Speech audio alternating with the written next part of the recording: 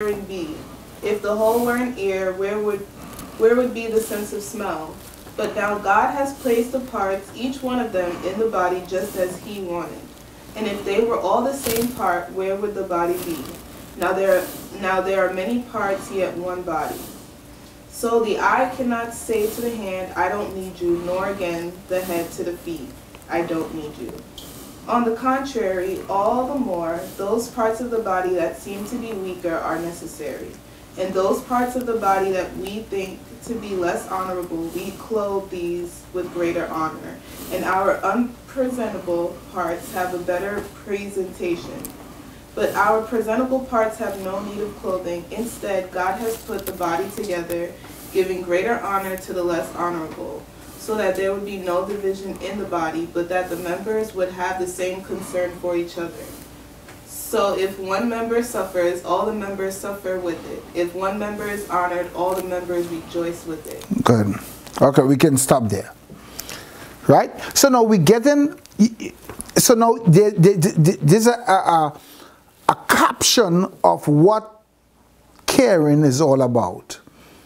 It's seeing that each part is necessary and carry out its function. But do we live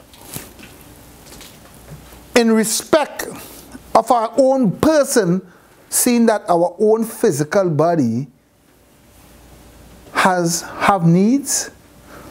Do we think about our eye muscle? Do we think about our zoan, uh, the, our ears, ozen? Do we think about our tongue? The only time we think about our tongue is when? Huh?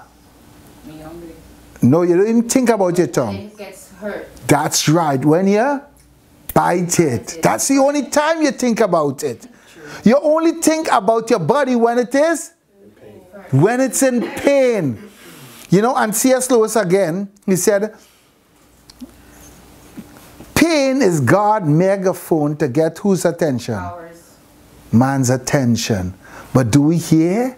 Are we hearing? And look at something. Paul is clearly saying that each part of the body is necessary in order to demonstrate care. But do we know when we are hurting? Because we are only so self righteous and conscious, we forget that we are a body. And we have different members, different parts, diversity of gift, yet um, um, in a singularity, diversity in plurality. We are diverse, but yet we one. We're plural, we're many, but what? One, because we have one, one mind. And whose mind we have? We have the mind of Christ. And if we have the mind of Christ, Christ must dwell in our what? In our mortal bodies, so that we don't fulfill the lust of our ourself, our own hearts. So now we're seeing here that Paul is clearly stating how we ought to function internally. So now, if you don't function right internally, can you function right outside? No. It's impossible. So now, Christ says, if any must follow him, let them pick up their cross daily and follow him. For we are like lamb to the slaughter. And he said also that when you go, who we ought to represent? Yeshua. Yeshua. Did Yeshua care for us? Yes. How we know he cared? He died on the cross. He died on the cross. So he died on the cross, but were you there? So how does that relate to you? How does his death relate to you? How do you know that he cares for you? You see, this word, care, it comes from a Hebrew word, tofel. And tofel, what that literally mean? What, what, that, what does that word mean? Tofel. When you care for something or someone, if you go back in Genesis, let me see. If you go back in Genesis and you see Hashem, Yahweh care about mankind. And he said,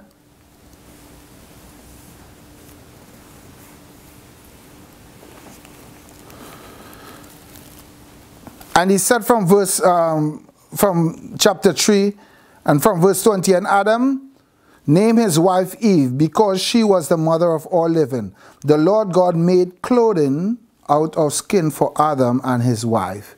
So when you care for someone what you do? He he- hear what he did? He made clothing of skin for adam and his wife.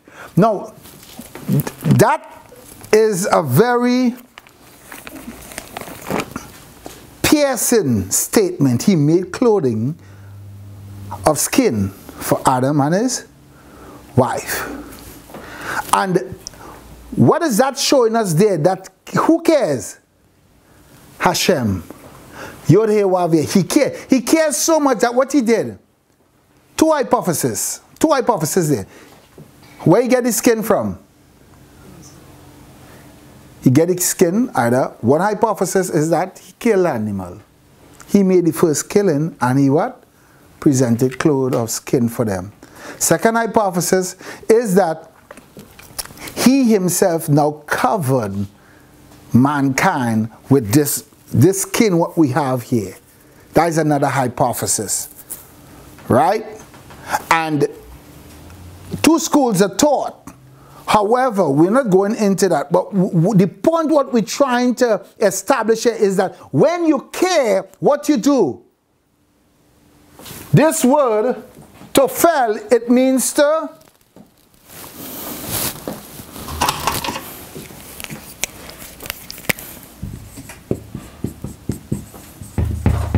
What is that?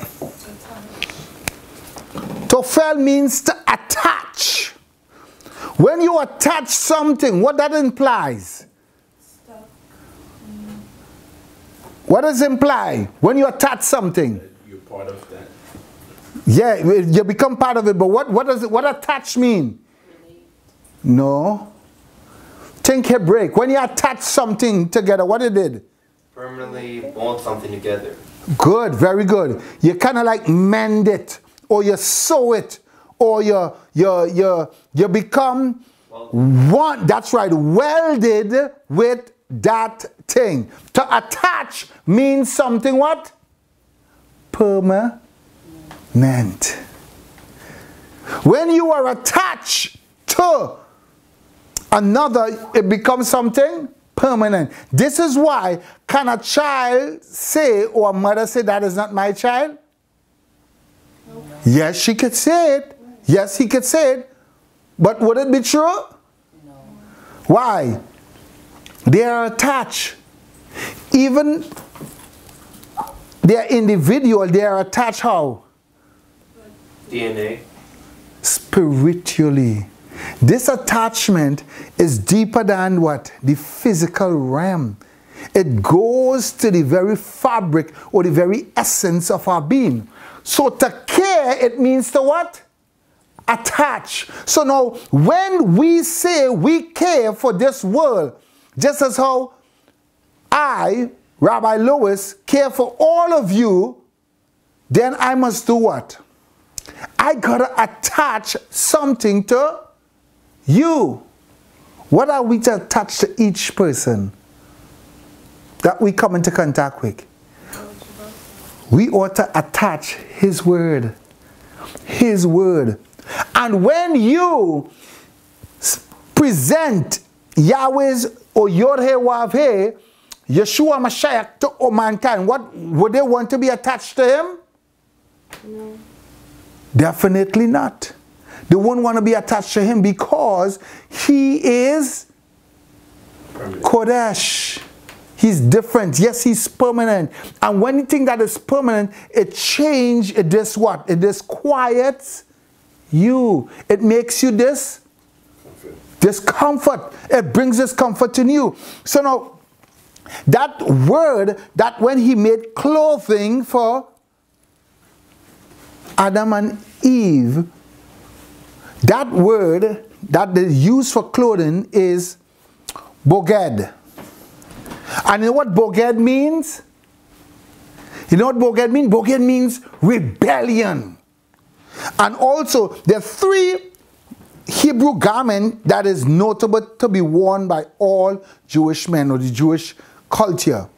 And those three pieces of garment is Boged, Levosh, and Mayel. And those three pieces of garment, Bogesh, it means the one who rebels. Levosh means embarrassment. And Mayel, to take that which does not belong to you. So now the clothing that you have on, this physical clothing, but more so your skin, is a reminder that what?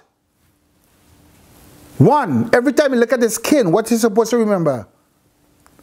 That you have been what? Rebellion. Rebellious. You have been rebellious.